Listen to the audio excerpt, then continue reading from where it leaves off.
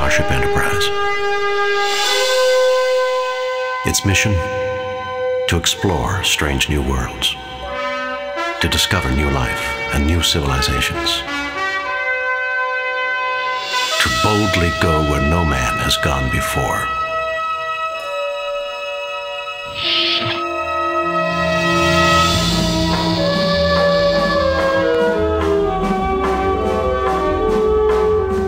When Star Trek first appeared on television in 1966, there was no such thing as a personal computer. The viewer could get no closer to Gene Roddenberry's world than his or her imagination. Now, however, computer technology allows anyone who owns a computer to not just watch, but to participate in the adventures and interact with the crew of the Enterprise. Not so long ago, one person, with the aid of one or two programs and a creative flair, could design, develop, and market the next generation of computer games. In this age of faster computers, more complex programming languages, and demands by players for ever more complicated adventures, this is no longer true. The age of multimedia has arrived, and with it, the need for larger budgets, longer development times, and a team of talented individuals in a variety of crafts. Just what does it take to create a game the size and complexity of Interplay's Star Trek Judgment Rites. Consumers of uh, today's computer products, especially entertainment products, have come to expect a great deal from them. Uh, computer games now have fully rendered graphics, and they have the highest quality possible sound. And also, the gamer is expecting a very plausible storyline. So, with all of that in mind, uh, we spared no expense to guarantee that not just the gamer, but the Star Trek fan, who's also a gamer, would have a very satisfying experience from playing this game. Let's put the pieces together and see how Judgment Rites was made. It starts, of course, with an idea. Brian Fargo, founder and president of Interplay Productions. What we want to do was create a game that was a simulation of the original Star Trek series as opposed to a simulation of Star Trek. And so, in doing so, we wanted to do something that was very episodic in format so that people could uh, sit down each night and, and solve uh, an episode and up to its final resolution by using their, their brains and their skills uh, and do it over a series of eight different episodes that are all linked together with a common theme. We felt that this was the closest you could get to simulating the original series rather than doing one big adventure that would take, say, 40 or 50 hours to complete. The plot of Judgment Rites is one familiar to science fiction fans.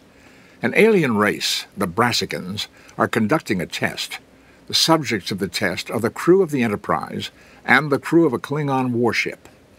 How they conduct themselves during the test will determine the fate of both civilizations for centuries to come.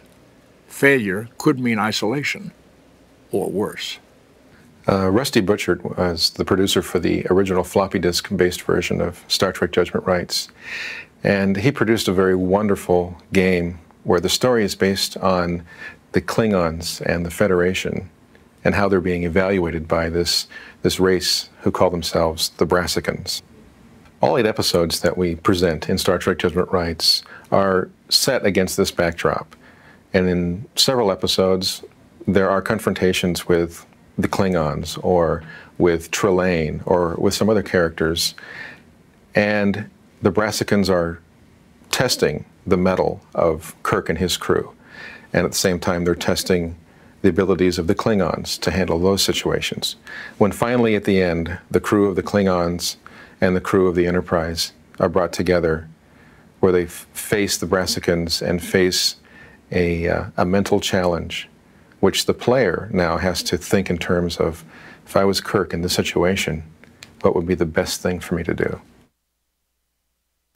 Crafting the overall plot line and the individual stories falls to the scripters. Mark O'Green, author of the Judgment Rites scenario, Museum Piece. Designing a computer adventure game is a rather imposing task. It's not just that you're writing and designing a single story at one time. A scenario is essentially several stories going on at the same time. Uh, it's kind of a good way to visualize it. Imagine a tree, and the story starts at the base of the tree, and every time you work up, and a player makes an action or a decision, the story and scenario branch out. And some of these branches can have radical uh, changes to the entire story. Uh, some will lead to some sort of failure. You can put yourself in a position that not even James T. Kirk can get you back out. When you design a game like this, you don't want just one answer. There's, there shouldn't be any one single right path.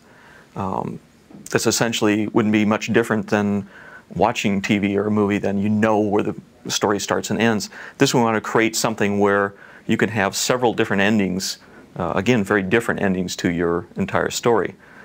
This creates a lot of um, complexity to the work because um, you're not only working off this these story branches, but at the same time you have to take into account things like uh, the computer interface, how the player is actually going to uh, be able to look at an item, what he sees when he looks at the item.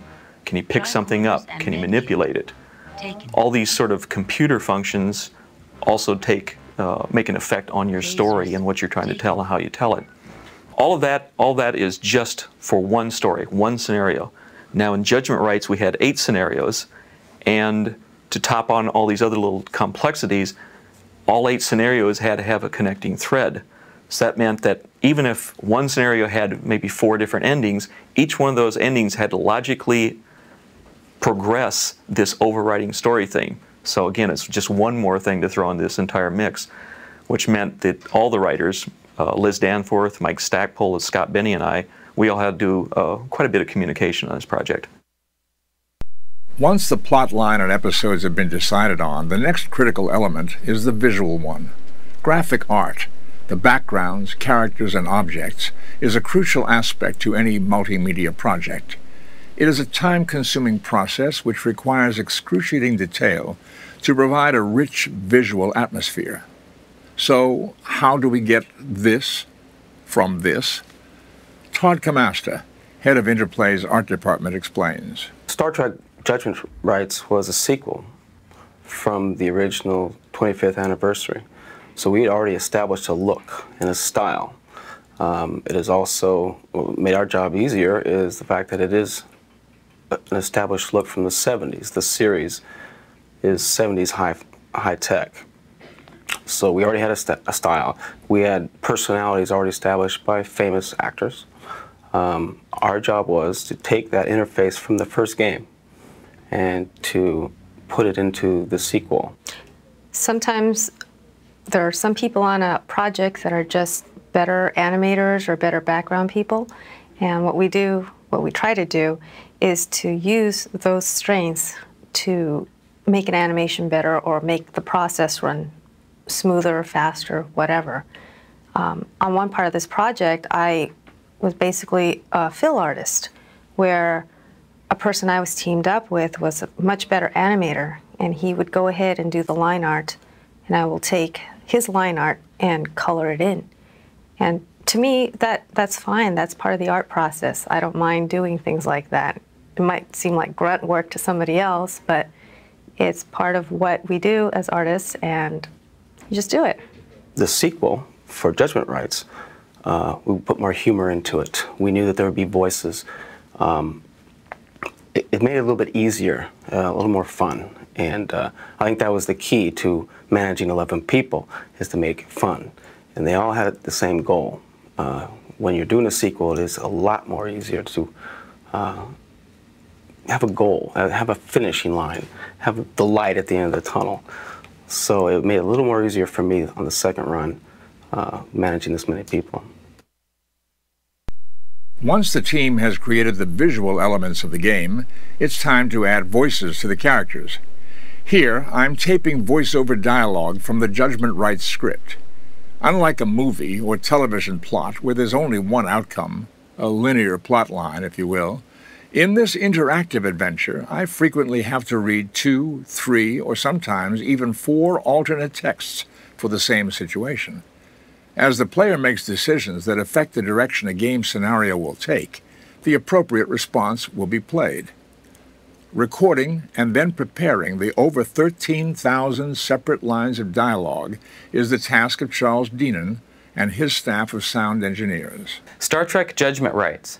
The largest voice editing project Interplay Audio Department has ever taken on includes over 240 hours of recorded material, seven binders of scripts, over three months of work, and it all ends up on one single CD-ROM.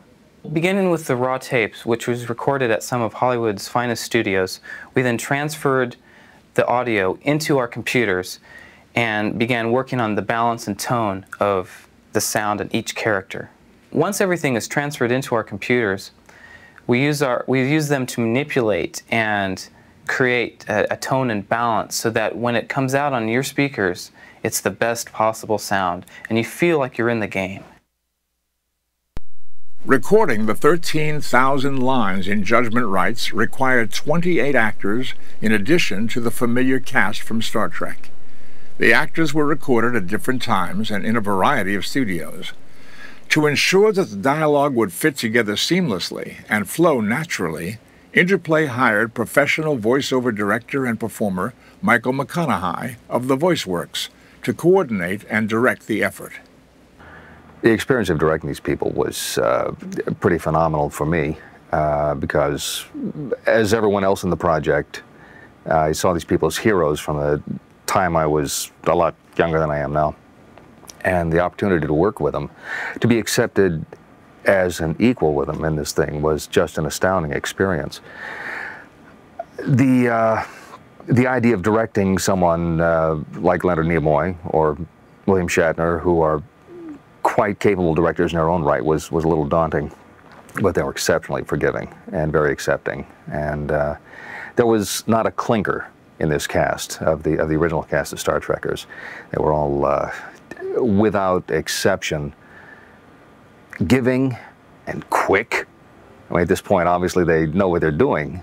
But as far as the uh, the supporting actors we cast, the 28 people who had uh, uh, really a rough job because in many cases they were tripling roles, which uh, everyone says, well, you know, a good actor can do it, but it's a lot different to do it, as in this case, working in a vacuum almost. It was the actor in the booth and the director out front, and there's no one in there to react with. And sometimes we're able to set up the circumstances for the actor, and sometimes not. And these people did not have 25 years of experience to pull back on. They, uh, but they snapped in very quickly, and in some instances, uh, in the space of 15 minutes, they'd be uh, a, a, human security guard or talking broccoli, depending on the scenario. And uh, it was an awful lot of fun both to work with them and for them to work in this because it was uh, cutting edge technology and it was Star Trek. We now have three of the critical elements in the making of Judgment Rites. There's still one overriding job to be finished, however. The pieces have to be assembled into a game, something with which the player can interact and control. That's the task of an unusual group of latter day wizards. By the time all the parts get to the programmer, the programmer's been involved in the original design. He's helped to give the artists and the musicians and the game designers and the writers limits on what you can technically do. Then it's the programmer's job to somehow exceed those limits because the artists and the musicians and everybody else will naturally want 110% of what you told them they could have. So now it's our job to somehow put it all together, come up with that 110%, and still make it a great game where you're playing it and you forget that you're playing a game. We've looked at the parts. Now let's see what one short scene looks like when all the pieces are put together. Captain, the computer is locked into an infinite loop. It will continue playing the game until it defeats itself. I can interrupt the moves and input my own. Try rook to queen's level 3. That will threaten its bishop. We are maintaining a stable position with its game. We may attain a stalemate if we want that. I don't want to lose. Let's support our queen with a pawn. That was not a very good move, Captain. Quite poor. I would not enter any chess tournaments if I were you, Captain. Spock, you wound me. Now watch me take his rook with my knight on queen's level one. Mate in three moves, Jim. Actually, four moves, Doctor. But it has become irrelevant. It has resigned. The brief scene from Star Trek Judgment Rites you just witnessed took 12 people and several days to complete.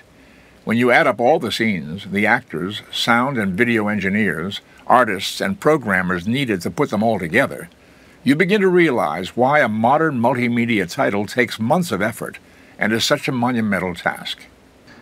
Uh, there's literally thousands of details, and when it all comes together, it's very, very gratifying. But I suppose the um, most awesome responsibility we have is having inherited the vision of Gene Roddenberry from his original show. There are some great expectations for us.